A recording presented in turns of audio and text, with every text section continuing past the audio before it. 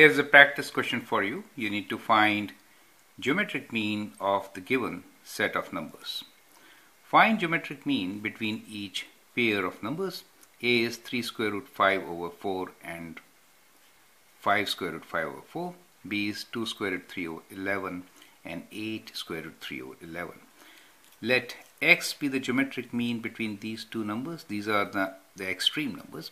In that case, x will be equals to square root of product of these numbers which is 3 square root 5 over 4 times 5 square root 5 over 4 right?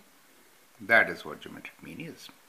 Now we can write this as this is 3 times 5 is 15 times square root 5 times square root 5 is 5 over 4 square great square root now 15 is 3 times 5, correct? So you can write this as, let me write here first. So what we have here is 4 square here, 15 is 3 times 5, we already have a 5 here. Instead of multiplying then doing square root, we can look at this number in this fashion. So we can write this as 5 over 4 square root of 3. Correct? So that is how you can quickly answer this question.